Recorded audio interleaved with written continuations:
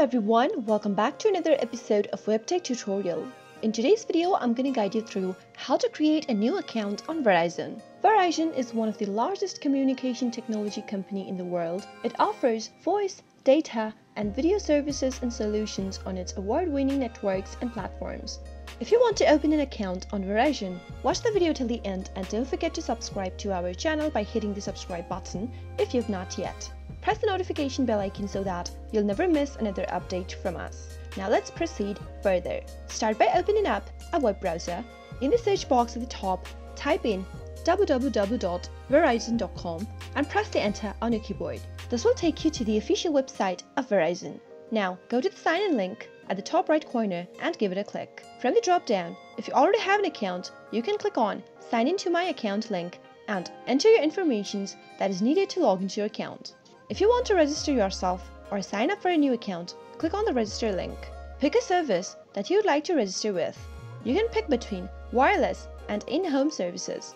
The wireless service includes Verizon Mobile Prepaid, Postpaid and 5G home services. If you pick the next one, it includes Fios Internet, TV, home phone and home devices. After you pick a choice, click on continue and enter your 10-digit mobile number. If you don't have a phone number, click on don't have a mobile number link and then you can enter your email address instead. Go ahead and type in a valid email address that you have an access to. After you're done, click continue. Now, you've just been sent an email to the email address that you just typed in. Click open a new tab and go check your mailbox. You should receive an email from Verizon. Click open the email from your inbox and then click on the register link.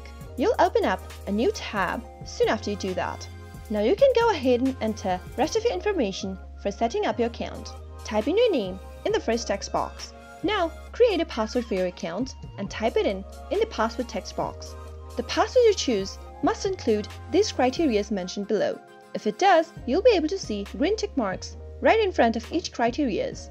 Now, confirm the password by typing it again in the next text box. Make sure to type in the same password without missing a single letter or number.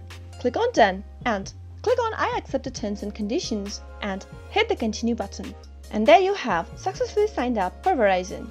I hope you found the video to be helpful. If you did, go ahead and give us a thumbs up, comment down below in the comment box if you have a question or a feedback for us. I'll soon be back with more tutorial episodes. Goodbye till then.